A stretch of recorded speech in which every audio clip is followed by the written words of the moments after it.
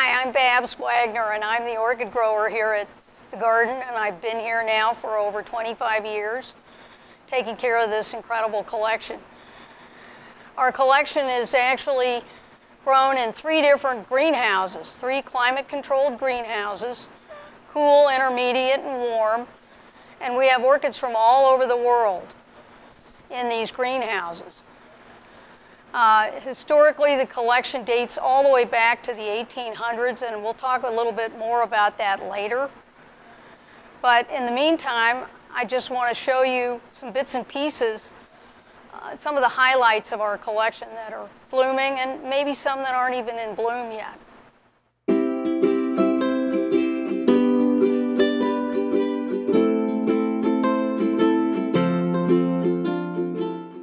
What you see on this bench behind me are orchids from the genus Angraecum. And the Angraecum are a really specialized group of orchid, orchids from Madagascar. This orchid right next to me is commonly referred to as Darwin's orchid. And the reason it's called Darwin's orchid is because Darwin actually describes the pollinator for this species, which is Angraecum sesquipedale. He describes it in his book, Origin of Species, and he talks about a moth that had to have had a really long proboscis in order to pollinate the flower. That moth hadn't been discovered when he described the orchid, and shortly after his description, lo and behold, the moth was discovered. So ever since then, it's always been known as Darwin's orchid. These are all pollinated by moths. They're fragrant at night. Um, it's really a delight to come in here early on a morning and smell the angraecums in bloom. These that you see here now, most of them have been in bloom now since early November. So they last a really long time. And they all have a characteristic spur. And the moth has to get its proboscis down to the bottom of that spur in order to pollinate the flower.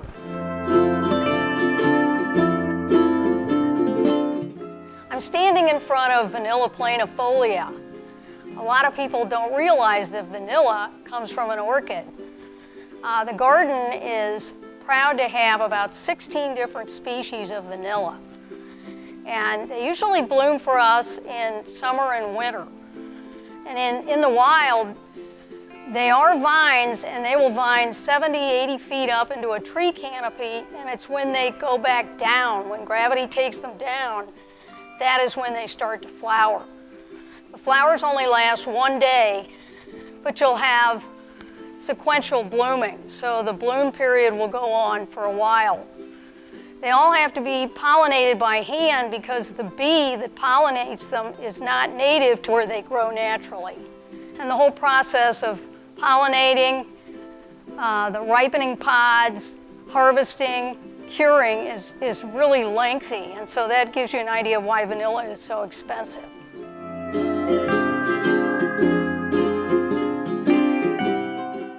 Behind me is Grammatophyllum speciosum. This orchid is one of the largest orchids in the world. They can grow up to the size of a ton a small elephant, if you will. The one behind me, you can see how large it is. This was acquired by the garden in 1989, and I have yet to see it flower. Apparently they have to get really, really big in order to flower.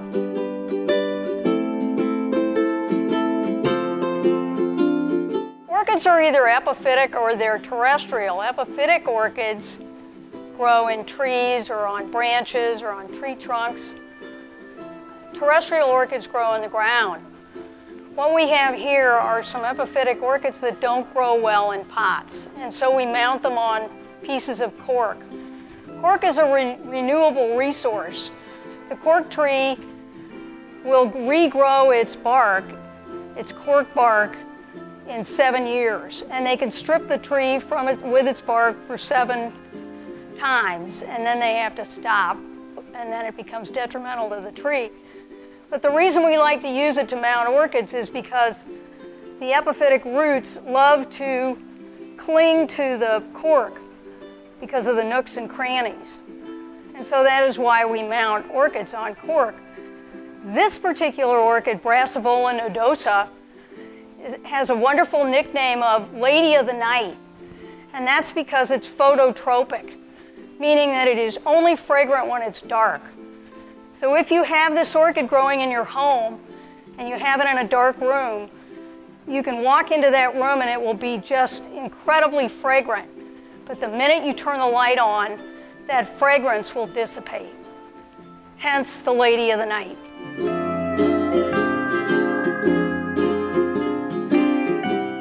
We are now in the what we call the intermediate house of the orchid collection. This is our largest greenhouse and we came out of the warm house so we're kind of going down in temperature. So most of the orchids in this house are native to Central and South America. In 1876, Mrs. Henry Blow gave the founder of the garden, Henry Shaw, his very first orchids. And he liked them so much that that was the beginning of the whole orchid collection. Then in, in the early 1920s, George Pring was sent to Colombia and he came back with over 5,000 cattleyas. So that was what kick-started the entire orchid collection. And in 1924, they had their very first orchid show. So cattleyas, as you can see from these large white flowers, are very showy. And so they are probably the predominant orchid of our display of orchids throughout the garden when we do display orchids. Right now the orchids are displayed in the Climatron and we change them out every week. Uh, and they also have some divisions of our species tied into the trees and on branches and tree trunks in the Climatron, which can give you an idea of how they would grow naturally in the wild. Generally, cattleyas are very fragrant, they're not all fragrant at the same time.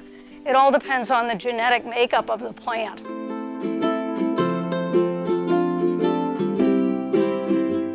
This is Ansellia africana, native to Africa. It's considered an endangered orchid in the wild. Here at the garden, we've been doing a lot of conservation with orchids and trying to target orchids that are rare or endangered in the wild. So when we acquire an endangered orchid, of course by legal means, not by collecting, all of our orchids are given a zinc, which is what I'm holding in my hand here. And the black zincs, which are metal tags, indicate that the plant is rare and endangered. We have an extensive record keeping system here at the garden and all our, all our plants throughout the garden are entered in our living collections management system database.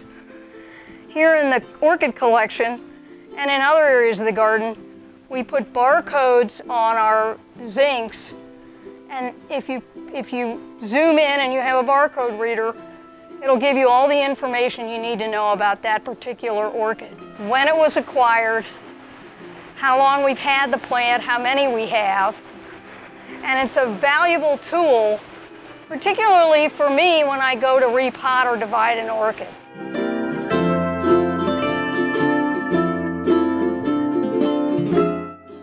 What I'm holding here is a catasetum hybrid. Catasetum is a genus that grows in Central and South America, and in its native habitat, it goes dormant. So when we're trying to grow it in cultivation, we have to simulate that dormancy. So starting in about, in about late October, early November, I gradually decrease watering until I stop altogether. And the plant, which used to have uh, many strapping leaves on it, gradually drops all its leaves and sometimes it blooms after the leaves have dropped.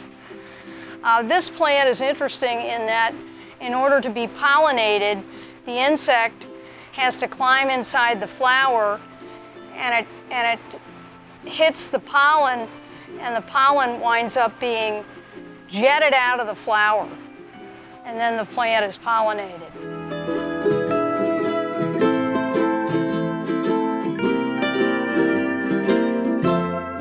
We've now moved into the cool orchid house.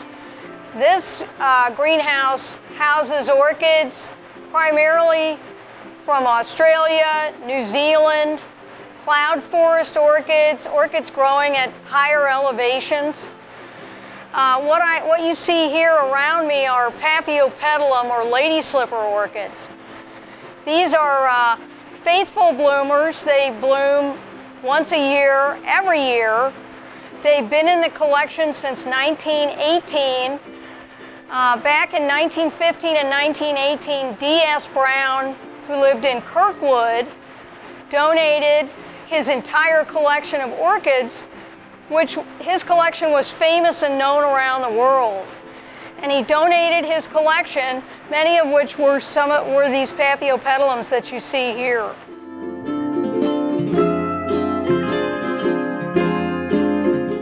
Most people are used to seeing orchids growing in pots or, as I showed you earlier, mounted on pieces of cork. But another way to display orchids is to tie them onto branches of Osage orange, which is what you see here. This particular branch was just done two years ago. And it gives you an idea of how orchids would grow naturally in the wild.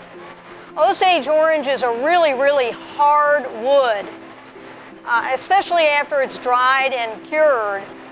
And when we mount orchids on it, we can usually leave those orchids on there for probably anywhere from six to eight years before the wood will start to rot. It also has wonderful little fissures in the bark that the roots like to crawl into and attach to. So when we initially put the orchids on there, we tie them on with fishing line. So you really can't see the attachment at all, and eventually the orchid will grow over it. This particular plant this, this branch has about 20 individual plants tied onto it. And eventually, probably within the next two years, they will all just grow together and it'll look like it's one continuous plant.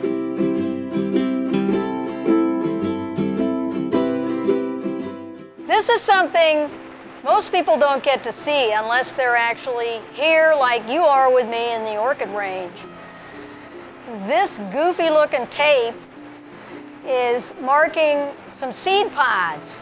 This is a Calanthe terrestrial orchid that we decided we would like to have more of it, and so our micro-propagator, Caleb, pollinated it for me, self-pollinated it when it was in bloom, and now we're waiting for the seeds to ripen. We're really excited to be starting up a new laboratory so that we can once again do micropropagation, tissue culture, and various other means of propagation like we used to do many, many years ago here at the garden with the orchid collection and other collections throughout.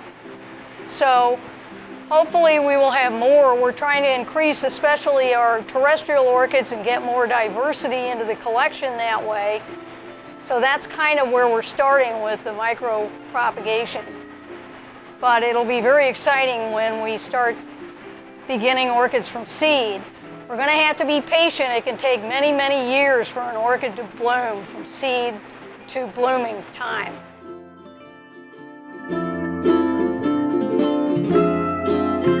Those of you that grow orchids at home that have questions, you can always access the Kemper Center for Home Gardening. They have culture sheets they're very knowledgeable about how to care for common orchids.